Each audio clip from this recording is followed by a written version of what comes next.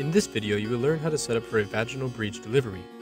By the end of the video, you should be able to fill the simulator lubrication reservoir, prepare the birthing baby, the placenta, and the umbilical cord with optional complications, start a breech scenario, program birthing baby vitals, monitor the evaluation of the birthing baby, and reset the simulator for another labor scenario. To start setting up, you'll need to remove the contractions cover. Do not attempt to lift the cover without first releasing both latches.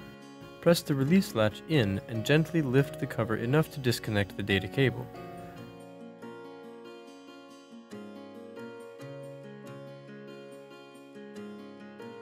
Then remove the cover. Using the mineral oil syringe, fill the internal lubricant reservoir with 10 milliliters of mineral oil. The mineral oil reservoir needs to be refilled after 4 deliveries.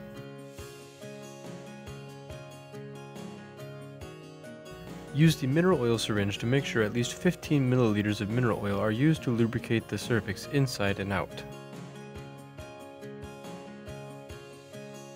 Place the charged birthing baby on the white cradle. There are two rods for the birthing baby. Set the shorter rod with a notch to the side. For breech deliveries, use the longer rod without a notch. Apply a gentle pressure downward on the chin of the baby to align the spine. Push the rod into the baby's port. Rotate the connector at the end of the rod so the groove is facing up. Use the mineral oil syringe to measure 15 milliliters of mineral oil and lubricate the baby thoroughly.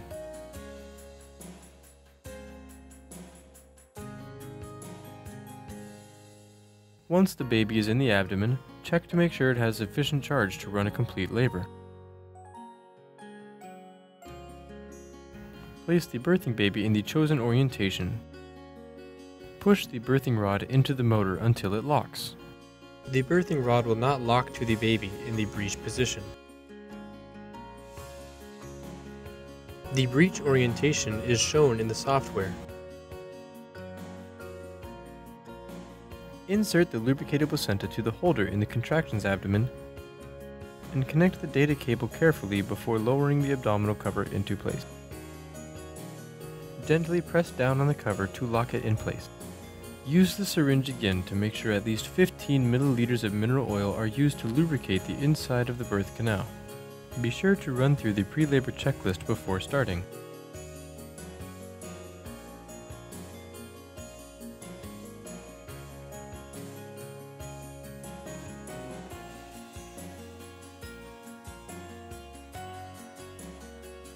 Once Victoria is completely prepared for the birth, click the Breech Delivery category in the Quick Launch page of the software. Select one of the scenarios with the baby symbol and click Start Scenario to begin the labor. To program Birthing Baby Vitals, click the baby icon on the bottom of the submenu list on the left.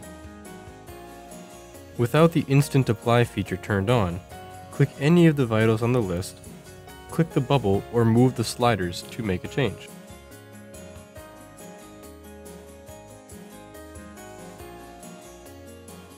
The baby runtime determines how long the baby will play the programmed vitals after being delivered. Once you have programmed all the changes you want for the baby, click the Now button. The rod will not lock inside the baby in the breech position. After delivering the feet and the shoulders, the baby can be delivered at any point to simulate the assisted breech procedures. Once the birthing baby is delivered, the umbilical cord can be clamped and cut. The placenta can be delivered. And the newborn can be evaluated for signs of neonate health. The neonate can display cyanosis, crying, programmable heart and lung sounds, and realistic head movement for the duration designated by baby runtime.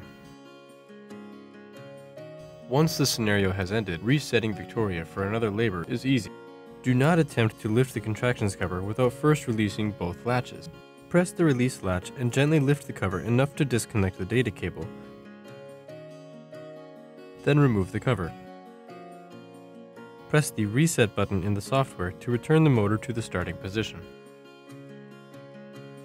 Once the motor has completely returned to the starting position, use the drain syringe to pull the mineral oil from the drain port.